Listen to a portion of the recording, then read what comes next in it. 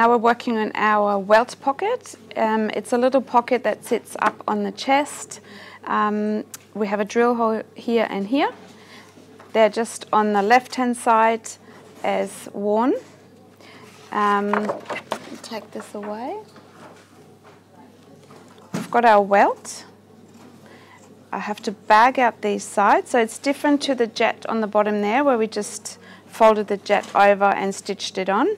This one we actually need to bag up the sides because it will sit on top rather than in within a seam. Going to bag out the sides, um, 6 millimeter seam allowance, both ends. I always start from the open end, going up. And then I'm cutting my seam allowance down from the um, fold on an angle. Same here. It just um, is easier to turn over.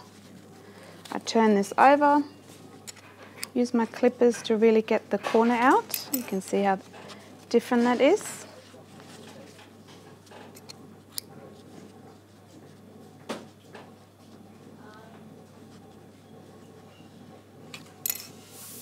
And now we have our welt pocket. As you can see, one part's pointing up that's the part that's going to face into the armhole. Before we attach it though, we need to press it flat and then we can start attaching the welt. As I said earlier, that point goes into the armhole. So this is where our um, welt will sit. So fold that down and uh, place the raw edge along this line from um, drill hole to drill hole and you can see the drill hole sits a bit further in from either side. So place that on pin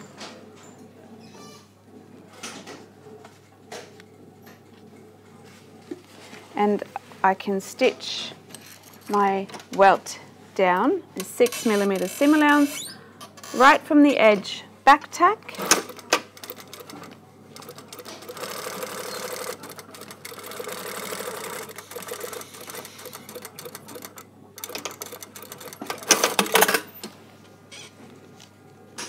and we have attached the welt and we're now going to focus on our pocket bag and the opening.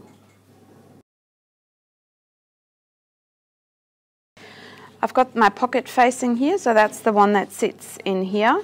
This side will get the pocket um, lining attached, whilst this one up here will have the pocket facing. So when we look inside, we only see the denim. So what I'm going to do is fold that up. I've got my notches here. That's the width of my um, welt. Going to pin that on.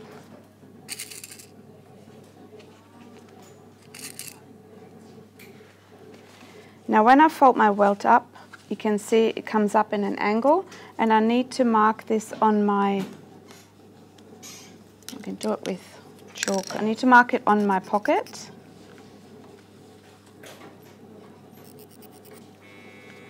So this is where my welt will sit. However, the seam in here, we want that a bit further in so it doesn't show on the sides.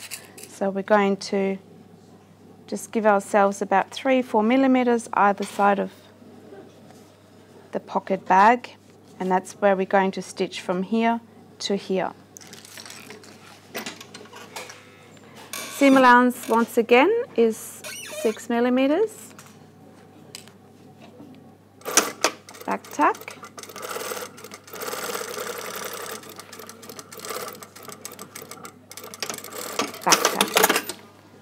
So you can see I stopped before the blue marking line because now our opening will sit a bit further in and it won't be in the way from the welt.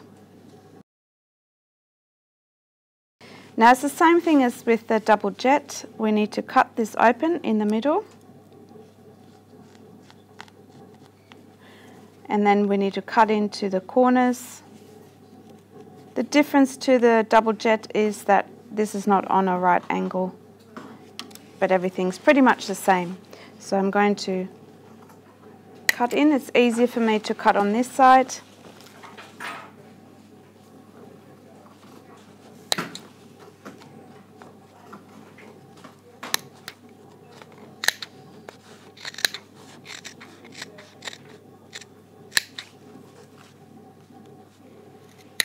Stop beforehand and then really clip into the corner of the welt, into the corner of my pocket or pocket facing. Same on this side.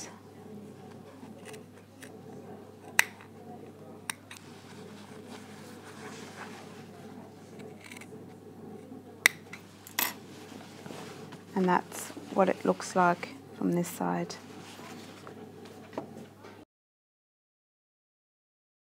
Now we'll have to attach the pocket lining onto the welt and we want that to be going straight down. As you can see, if I would have it this way, it will go into the body like that on an angle, would be wrong. So I would have to place it like that. I've got my notches on either side. can pin it on. Turn it over and stitch on the bottom line again. Don't go over your stitching line. Really start where that stitching line is and I've just gone over by one stitch.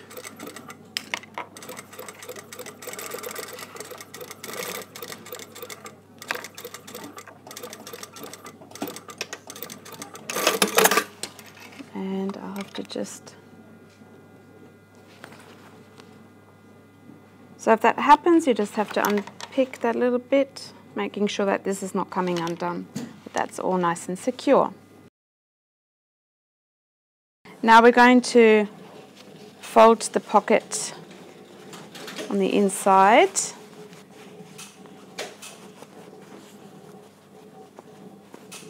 We'll turn it over.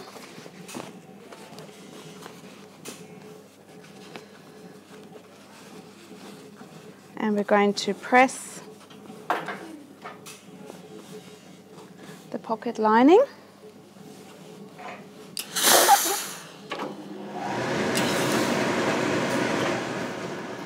And the pocket facing.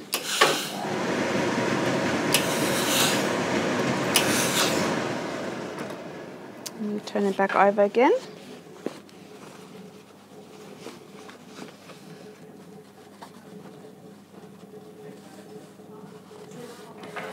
I'm just going to press the corner here.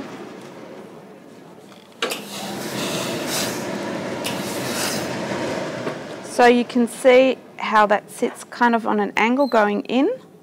So to accommodate that welt, and that welt is sitting on top. So our next step would be stitching the corners again and then attaching the welt and then closing the bag and we're done.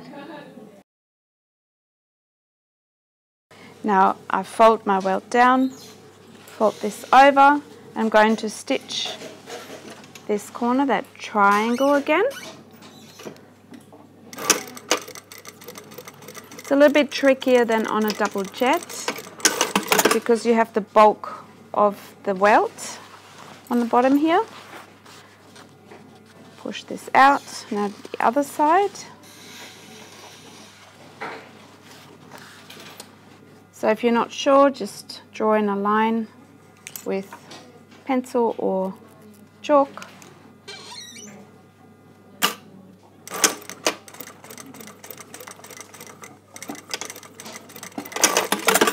Back tack and we've stitched um, the corners down. Now we can put a pin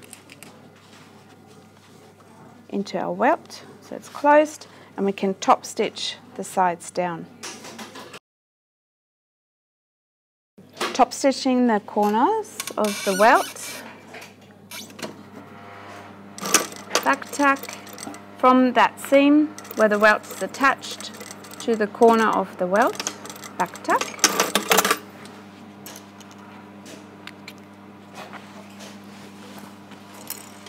You could also blind stitch this on by hand so you wouldn't have a stitching line. Same thing here. Back tack both ends. This just needs a good press. Before we do that, we can close our pocket bag on this side and it's the same as with the jet, the double jet. Pin your pocket bag.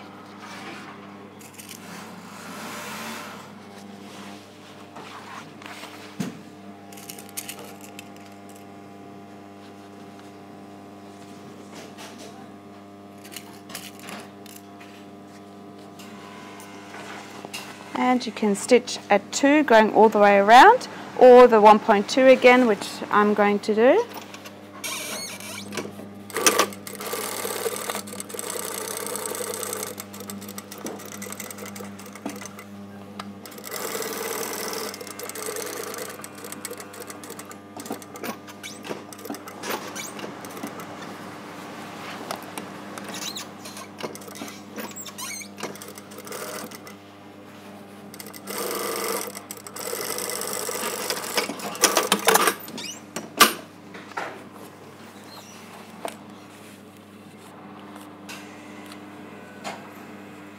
Got your pocket bag and your welt, which I'm giving good press and then we can have another look at it.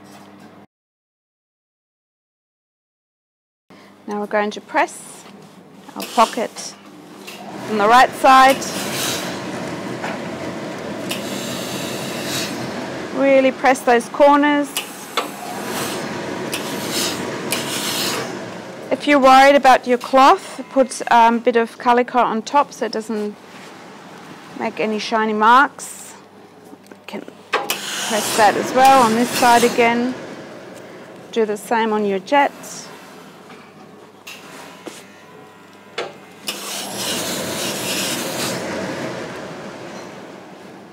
And we have two beautiful pockets. Our welt and our double jet.